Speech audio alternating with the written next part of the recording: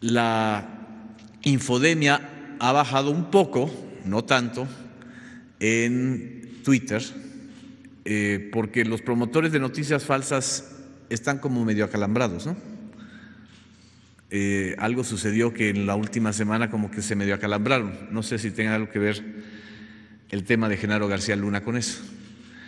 Pero en WhatsApp se ha intensificado a raíz de la tercera fase de la epidemia la circulación de audios y de videos alterados, truqueados, que tienen como objetivo generar desconfianza social, eh, generar miedo, sobre todo en los sectores más populares, en los sectores que no, tienen acceso luego a contrastar la información.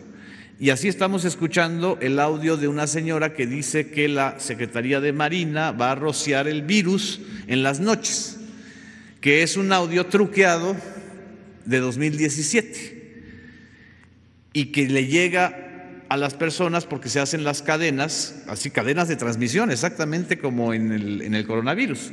Se hacen las cadenas de transmisión a través del WhatsApp. ¿Qué es lo que hay que hacer? Cortar la cadena.